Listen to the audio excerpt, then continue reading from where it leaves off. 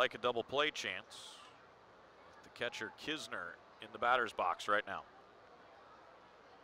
Pitch comes. Ground ball through the right side. Base hit.